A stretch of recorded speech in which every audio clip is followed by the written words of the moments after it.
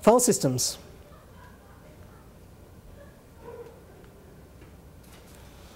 So as with all of the chapters, it's really important to talk the talk, and that can be a big part of the challenge. So I've listed file system terminology and terminology in file system context. So file system is an organization of data and files as directories, of a file-based interface, and file permissions to control access. There can be special files that aren't really what you think of as an on-disk file for things like devices, sockets, and pipes. A file system cache is an area of main memory for storing recently accessed data to improve performance so you don't need to go to the uh, physical storage devices. Operations. File system operations are the requests of the file system. Read, write, open, close, stat, mkdir, and other operations. I.O. for input and output. And here's where I'd differentiate, I'd make a differentiation, and you may not, but for operations, this is everything you do to a file system, which can include mkdir and, and, uh, and rmdir and whatever. I.O. is just things that, oh, I'm including that there as well. I.O. are just the operations that end up doing an input or an output, that end up doing a read or a write. Um, okay, so an example of one that, what's an example of an operation? It's actually on the screen.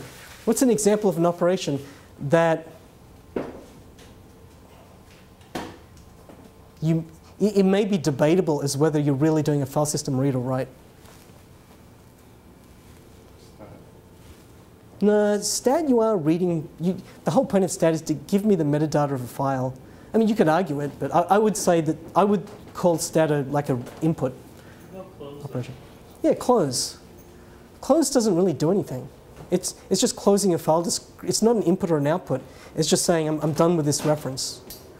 It may trigger, well, it's, it's not, it may trigger a sync, a sync operation, but that's syncing stuff you've previously written. And so you did the outputs earlier. So I would call close an operation, but I wouldn't call close an input-output operation. Open would sort of be the same thing, although sometimes when you do an open, the file system has to do work, but uh, I'm not inputting data to the file system or outputting data from the file system. Um, open and close is just letting me prepare to do that. Uh, another file system operation, mount and umount. So again, I'm not inputting or outputting data. Logical I.O. Logical I.O. is I.O. issued by the application to the file system, and then physical I.O. is I.O. issued directly to the disks by the file system.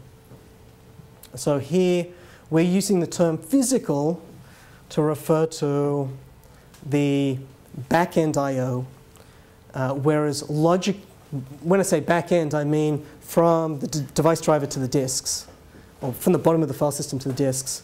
And we're using logical I.O. to refer to the system calls and what the application is asking of the file system. There is a physical breakdown for the earlier chapter on main memory, and that's we do use the term physical memory sometimes to differentiate between virtual memory and physical memory. So you will hear that. Uh, whereas in this case, physical is being used to uh, differentiate between something that's logical to the file system and then to the physical storage devices. Throughput is the current data transfer rate between applications and the file system, measured in bytes per second.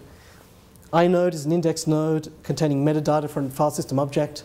So all objects in a file system have an index node.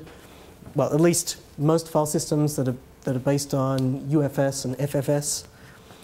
VFS is a virtual file system. That's the abstraction we use so that uh, the kernel can support different file system types. Uh, you may have a volume manager as well.